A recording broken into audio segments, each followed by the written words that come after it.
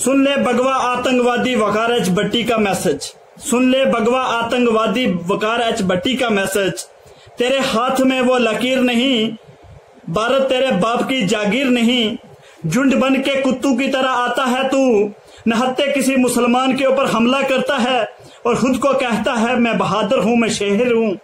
तेरे में वो हिम्मत नहीं, तेरे में वो गट्स नहीं कि तू किसी मर्द का सामना कर पाए, तू किसी के पास अकेले जाके, उसकी आँखों में आँखें मिला के उससे सवाल पूछ सके, अरे, तुम तो ऐसे नामर्द हो, तुम तो ऐसे डरपोकल आतंकी हो, कोई झुंड में आके एक नहत्ते मुसलमान को शहीद करते हो?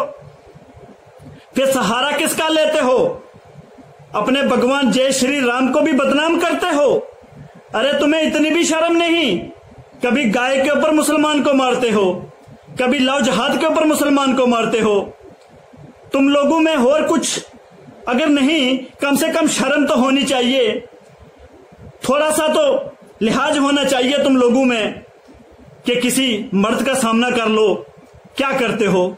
एक गरीब मुसलमान को पकड़ के कोई मजदूर हो या कोई कमज़ोर हो तो उसको शहीद करके, उसको मार के मर्दानगी दिखाते हो। मैं तुम लोगों को चैलेंज करता हूँ।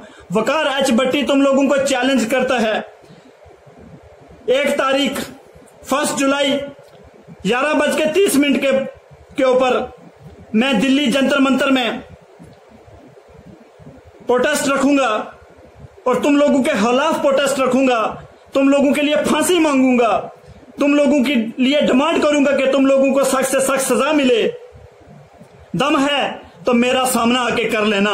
अगर तुम मर्द के बच्चे हो अगर नहीं मर्द के बच्चे तो दोबारा किसी मुसलमान की तरफ़ आँख उठा के देखने की कोशिश मत करना। नहीं तो याद करना, जिस दिन ये 20 करोड़ मुसलमान जाग गया, तुम्हारा क्या हशर होगा, तुम्हें खुद पता